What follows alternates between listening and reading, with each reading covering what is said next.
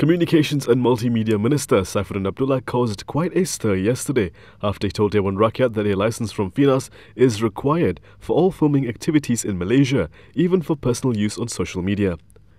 Since he said that in Parliament on Thursday morning, he was heavily criticised, prompting him to issue a clarification in the evening that the government does not intend to use the FINAS Act to stifle personal freedoms. He also said what he said in Parliament in response to Kluang MP Wong Shu Qi was merely to explain the FINAS Act as it currently stands. Here's a recap of what he said.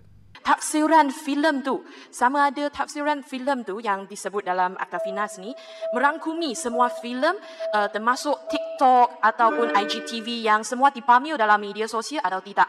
Kerana kalau akta ni dikuat kuasa dengan uh, apa yang berlaku sekarang maksudnya semua pengguna media sosial perlu mohon lesen dari Finas. Jadi minta menteri memberi satu penjelasan yang jelas kepada seluruh rakyat Malaysia. Terima kasih.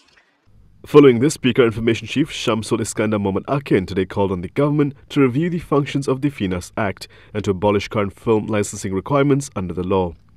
According to Shamsul, Section 22 Bracket 1 of the Act, which is on the need for license to distribute, exhibit, or produce any moving images, is no longer relevant in today's context. Referring to when the Act was first mooted, he said the environment in the 1980s and today is vastly different. He added that the provision cannot be used to address current enforcement and development challenges. With that, he said the requirement for individuals to obtain a FINAS license must be abolished.